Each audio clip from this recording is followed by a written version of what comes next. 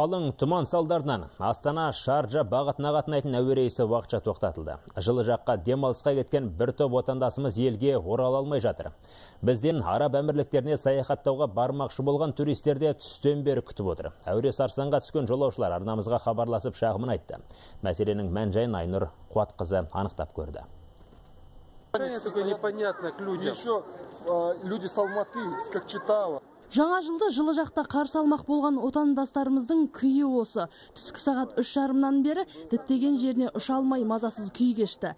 Себебі Ейр Арабия компаниясы Астана Шаржа бағытына қатынайтын әуе рейсін тоқтатып тастаған. Алайда жолаушыларға мән жайды түсіндіріп айтатын бір жан табылмады. Они отменили рейс и сам... олар рейсті шегеріп тастап басқа ұшақ жібермейміз деп отыр біздің ашуымызға тигені ақшамызды қайтарып ала алмаймыз деп уайымдап отырмыз Жолаушылардың шағымынан соң әуе компаниясының өкілі келіп туристермен тілдескен. Бірақ әуе рейстері неліктен тоқтатылғанын түсіндіріп айтпаған. Мән жайды анықтау үшін біз де бірнеше мәрте хабарластық алайда Вызываемый абонент не отвечает. Вы можете оставить голосовое сообщение после сигнала. Журналистердің келгенін көріп әуежай қызметкерлері Ир Арабия компаниясына хабарласты. Осынша уақыт жолаушыларды күттіріп қойған әуе компаниясы әрең дегенде ағылшын тілінде ресми жауабын беріп хат жолдады. Қалың тұман салдарынан әуе рейсі тоқтатылған. Бірақ еліміздің әр бұрышынан жиналған туристер енді қайда барарын білмей дал.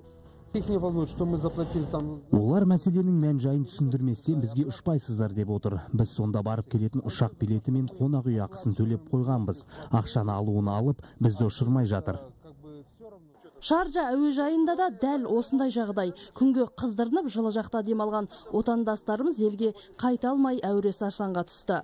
аэропорт шарджада қалған бұл мид ақпарат бойынша қазақстан консульство дубайының ақпарат бойынша қазіргі бұл туристер тамақталған тамақ берген қазір оларды гостиницаға деген ұйымдастырып жатыр. Ал алматыдан және жаңа астанадан ұшатын туристер рейстер бүгін деген ұшпайтын болды. Эл арабия шешім бойынша авиакомпанияның бұл билеттерді э, бұл компания деген біздің туристерге қайта қайта беріледі деп санаймыз. Алматы Шаржа бағытына қатынайтын әуе рейстері де тоқтап тұр. Айнұр Қуатқызы Аят Дүйсенбаев, Хабар 24 Астана.